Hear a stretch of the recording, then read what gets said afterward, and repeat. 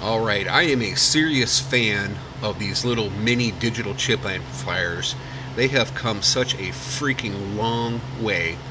I've got this one right here hooked up to my garage system, and let me show you it right over here. I'm running four of these JBL 12 inch two way speakers. So I got a 4 ohm load here, 4 ohm load here, and then two 18 inch passive Yamaha cabs wired for 4 ohms, and that amplifier powering it with a 36 volt 10 amp step up booster. And it's it's phenomenal. To be honest with you, especially when you're running, you know, like stage gear, gigging type speakers that are really efficient and using these little digital chip amplifiers, they'll make a lot of bark. They'll they'll go pretty pretty loud. Um, but there's a there's room for improvement. And let me show you what I'm talking about with Fosi Audio. This is the amplifier I'm running right out here.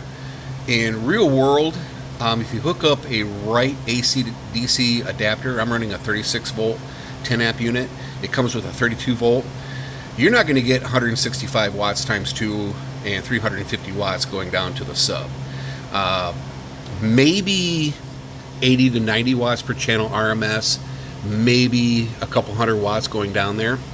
So I got thinking, what would be really, really cool? Let me show you over here.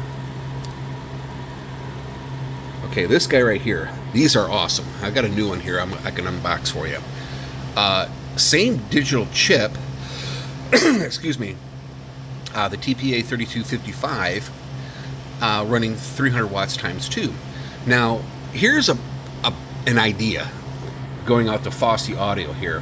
Why don't you make a dedicated subwoofer amplifier uh, with two of these TPA 3255s bridged or combined to make 600 watts and have all the controls like you have on here, you know, sub frequency, sub volume, all that and a main main volume. That would be freaking doable. You know, keep it at a good price point, and you can marry up this guy, use this preamp out, have, have the other amplifier run the subs 600 watts or more. And if you really want to go crazy, have make a subwoofer amplifier with four of these chips in there and make it a, a true thousand watt subwoofer amplifier. I mean, I'm just thinking out my ass right now, but holy Moses, they are just right on the cusp of something really good with this amplifier here with two of these TPA 3255s.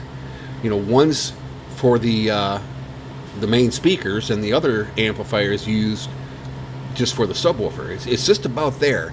Just needs more of it. So a couple more here, and a dedicated one for here. I mean, it'd be freaking phenomenal and people would buy them. People would buy them. Not to say that this setup right here is bad.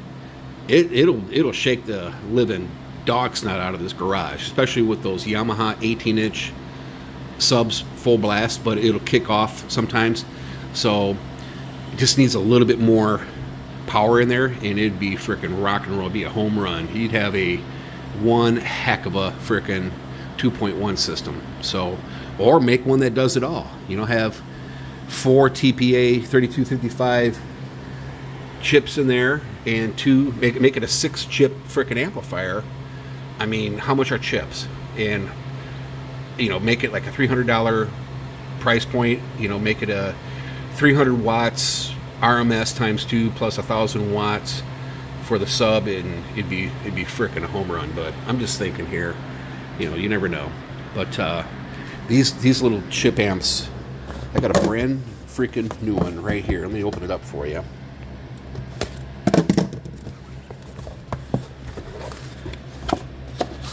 This is like my third or fourth one, but these things come with uh, a uh, see right here. This has a single single in there great little amplifier, and all you have to do is just use the uh, pre-out because it's variable. I've tested it. It'd be perfect for a subwoofer amplifier, external subwoofer amplifier with a thousand watts.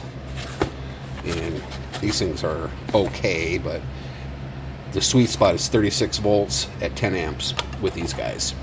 All right, there you have it. Just thinking up my butt.